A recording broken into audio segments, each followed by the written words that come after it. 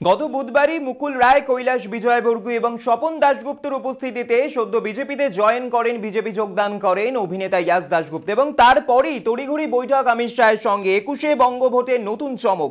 গেরুয়া শিবিরে যোগদানের পরই অমিত শাহের সঙ্গে বৈঠক সারলেন অভিনেতা ইয়াস দাশগুপ্ত। একুশের বঙ্গভোটকে লক্ষ্য করেই পালা বদলের হিড়িক চলছে। টলিপাড়াতেই যেন বিভেদ চলছে। কেউ শাসক দল, তো কেউ গেরুয়া শিবির। একের পর এক রাজনৈতিক পালা বদলে সরগরম বঙ্গ রাজনীতি। বাংলা দখল করতে যেন ঝাঁপিয়ে পড়েছেন কেন্দ্রীয় মন্ত্রী থেকে বিজেপি নেতারা। প্রধানমন্ত্রী থেকে স্বরাষ্ট্রমন্ত্রী অমিত শাহ বারংবার আসছেন বঙ্গ সফরে। গতকালই একাধিক কর্মসূচি নিয়ে বাংলায় এসেছিলেন অমিত শাহ।